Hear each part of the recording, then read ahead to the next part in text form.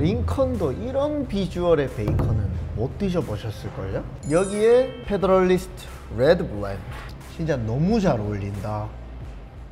미국의 16대 대통령 링컨이 특히 좋아했던 음식 중 하나가 베이컨이었다고 하는데요. 오늘은 이 베이컨과 함께 Federalist Red Blend를 한번 곁들여서 먹어보도록 하겠습니다 링컨 대통령의 마지막 경호원인 윌리엄 크룩 대령에 따르면 그는 정말 열성적으로 먹는 사람이었고 특히 베이컨을 좋아했다고 합니다.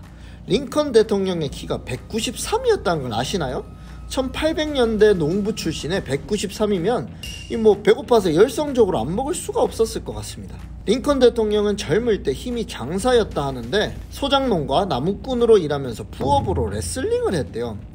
근데 이 레슬링을 12년 동안 딱 한 번 졌다고 합니다. 전미 레슬링 협회 명예 전당에도 일리노이 챔피언으로 등록되어 있다고 합니다. 이렇게 몸을 잘 쓰는데 베이컨은 싫어할 수가 없겠죠?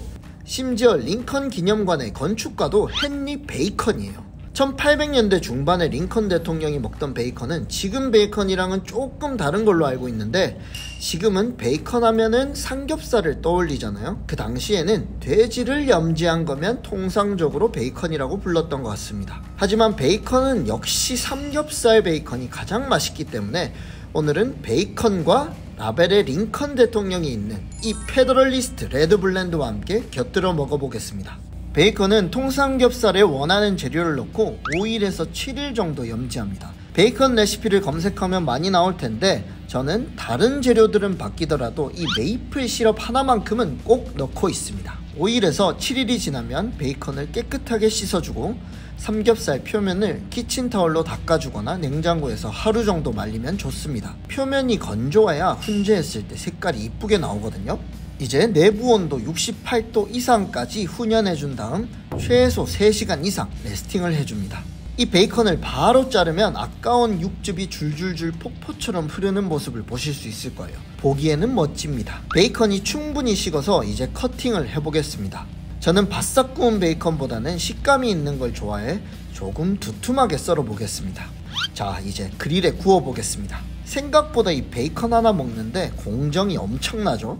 링컨도 이런 비주얼의 베이컨은 못 드셔보셨을걸요? 먹어보겠습니다. 음, 역시 문츠 베이컨입니다. 여기에 Federalist Red Blend.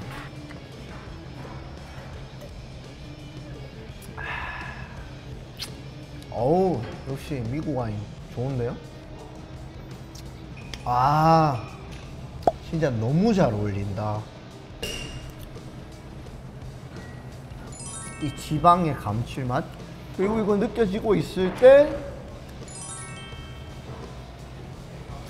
아, 요 와인의 쌉싸르한 이 타닌이라고 하잖아요. 이 타닌감이 와 진짜 이거 찍고 이거 제가 혼자 다 먹을 수 있을 정도로 합이 너무 잘 맞는 것 같습니다. 저희가 11월 23일부터 12월 10일까지 또 이 페더럴리스트를 저희 성수 문츠 바베큐에서 같이 행사를 하거든요. 오셔가지고 이 궁합을 이 pairing을 한번 드셔보시면은 너무 좋으실 것 같아요. 저는 이 red blend를 마셨는데 까베르네 소비뇽이 이 BTS 진님이 우리 이연복 선생님에게 선물한 와인으로도 알려져 있는데 라벨도 또 묵직하게 멋있어가지고 하고 가성비도 좋아요. 이게 뭐 소비자가 해도 뭐 한뭐 5만 원 이렇게 내외라서 가격도 좋은데 맛이 진짜 좋거든요. 저도 레스토랑에서 여러 가지 와인을 취급하지만은 정말 정말 좋은 밸런스 좋은 와인입니다. 음. 자, 오늘은 우리 링컨 대통령님이 사랑한 이 베이컨과 우리 BTS 진님이 선택한 이 페더럴리스트 이 두 개 와인으로 한번 궁합을 즐겨봤는데요. 시청자분들도 저희 행사 기간 동안 오셔가지고 한번 드셔보시고 체험해 보시면 좋을 것 같습니다. 감사합니다.